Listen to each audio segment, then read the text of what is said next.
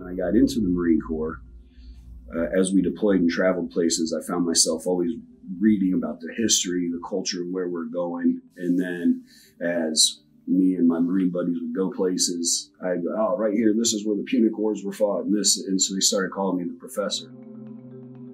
So that led me to think that education would be a viable career.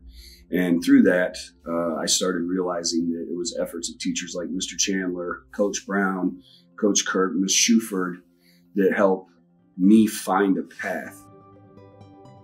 I decided that I wanted to go back into the community and find those students who maybe aren't in love with high school or the idea of secondary education or, or you know just no real big trajectory in life and try to help those students out.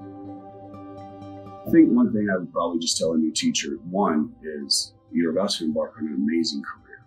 I mean, this is exciting. There's no stale days in education.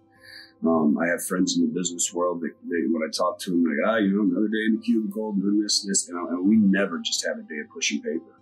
You know, some days will break your heart. Um, some days you'll be on cloud nine. You know, it's, it's, a feast or famine job like that. But what I tell them is that this is a genuinely exciting career that has personal rewards that you just can't get in a lot of other industries.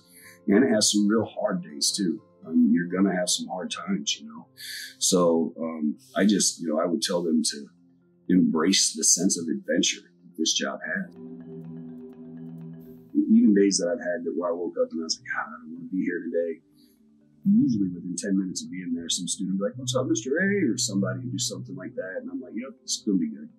So I would say the kids, undoubtedly the kids and the colleagues I work with and, and the mission we have. I, I feel like we have a job with purpose.